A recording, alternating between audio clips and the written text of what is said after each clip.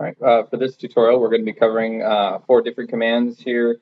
Uh, mirror, uh, we're going to be covering scaling, uh, one-dimensional, two-dimensional, and three-dimensional, that is, uh, taper, and shear. so we're going to go ahead and start off with creating a mirrored object. And so the first thing we need to do is create some geometry. so I'll just go ahead and create a couple of curves. I'll get us started here. And so the way the mirror works is um, if we pull this up, we can uh, the command is also hidden under the move tool, uh, or we can just type mirror. Uh, and then the way that it starts is you have to define an axis to be mirrored about. Uh, so I'm just going to hit shift to put that, but you can also start to see how this thing starts to define itself. Um, so it's a really simple and basic command. Uh, any kind of geometry can be mirrored to, along this axis. So basic. Um, then we're going to start to look at stretching. So if we start to build a volume here, we can start to look at uh, scaling this. Um, so you can scale one-dimensionally, two-dimensionally, or three-dimensionally. Uh, so if we type in scale 1D, we can define an axis for that scale, and we can start to distort that geometry along that axis. Um, we can start to stretch a box into a, a rectangular box and things like that. Um, the, all of those tools are actually found right here. If you click and hold, we can see the scale 1, 2, and there's non-uniform scale, which is uh, less useful. Um, all right, and so we can go ahead, if we decide we want to do a two scale 2D, and set that up.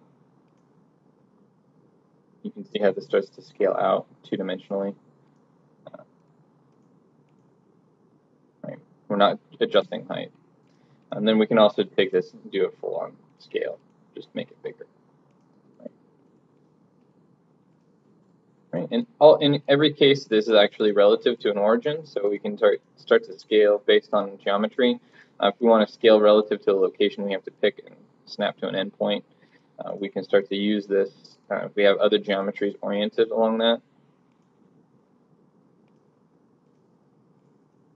Say we want to scale this, so this is proportional, we can take this, and then where those two intersect, we can start to scale and form relationships with the geometry. Uh, all right, uh, third command here is the taper command. Uh, essentially for that, we basically need a, I'll go ahead and delete this away, create a template geometry here. And just create a really tall geometry. And for tapering, uh, that's also embedded in the transform menu under the move command. You just define a, a base. This works uh, very, very similar to similarly to the twist command. We define an axis, and then we define a base jump uh, dimension here, and then we can either start to blow that up, or we can start to taper that down. Uh, it's important to note that this also, we need to pay attention to how we start to locate that, just like in twist.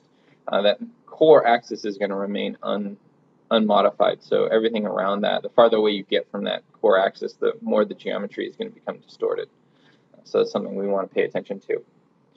Uh, and then the last command here is the shear, which is again and located in the transform command. We can come up and we just define a shear axis, uh, and then we can start to grab that axis and start to distort that uh, across in any direction we like. Okay, that's really basic.